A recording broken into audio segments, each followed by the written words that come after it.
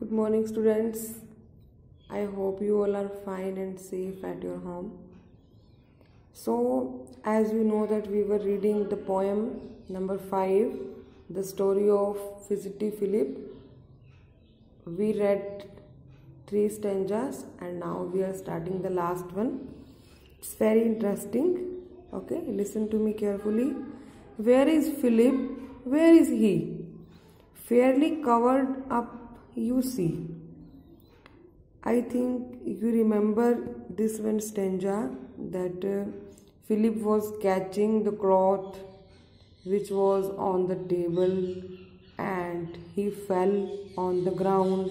And these things glasses plates knives forks and all were upon him. So now the poet is asking where is philip? Where is he? Because he was not on the chair now fairly covered up you see.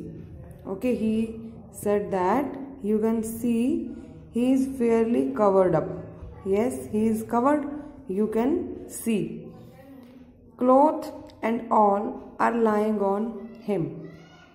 Okay cloth and all these things are lying on him. You can see the cups are on his body and the cloth is also on his body he has pulled down all upon him yes these things did not fall suddenly or by chance he himself did it.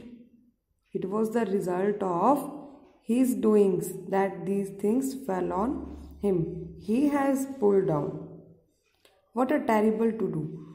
Yes, what a terrible scene it is. Dishes, glasses snapped in two. Okay, the word snapped, snapped means broken. Dishes, glasses, dishes means plates, glasses are broken in two parts. Here a knife and there a fork. Yes, here a knife and there a fork. You can see. Philip, this is cruel work. Poet is saying that Philip, this is not good work. This is a cruel work. Table also bare. Okay, now the word bare. Bare means like the table is bare you can see in the picture bare means firstly the table was having so many things and now the table is bare means empty no any dish or plate or any utensil anything is there. So the table is bare. And ah poor papa and poor mama. Okay? Poor papa means sad. Look quite cross and wonder how they shall have their dinner now.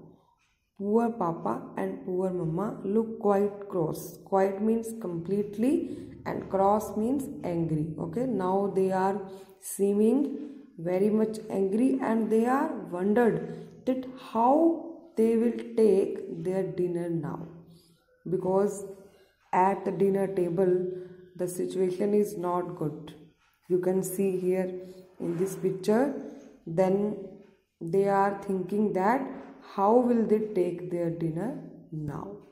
So this is the poem. Very simple and interesting poem. I think you have understood it. Try to read it one more time very carefully okay?